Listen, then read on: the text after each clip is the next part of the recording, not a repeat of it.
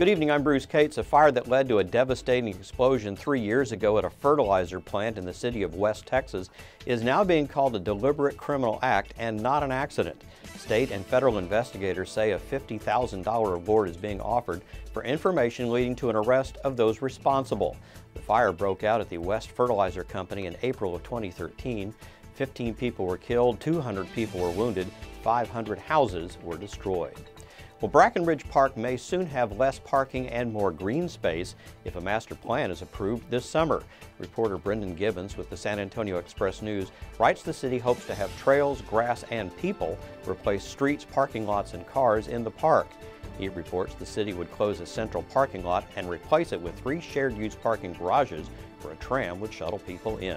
We've set up a link to the Express News story at klrn.org slash news.